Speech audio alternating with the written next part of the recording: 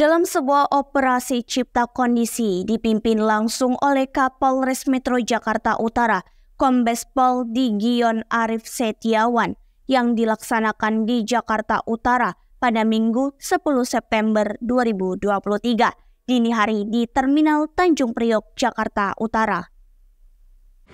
Dioplos. Oplos sama apa?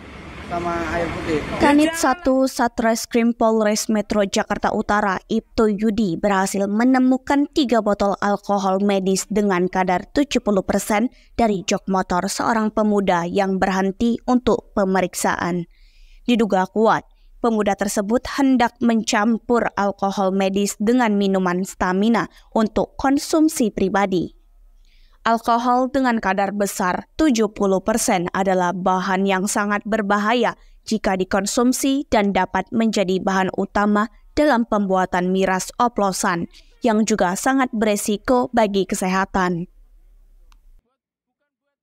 Pemirsa setia, ayo dukung kami dengan cara like, share, komen, dan subscribe di akun PITV agar tidak ketinggalan berita-berita terupdate lainnya. Saya Ramananda, mewakili kru yang bertugas pamit undur diri. Terima kasih dan sampai jumpa.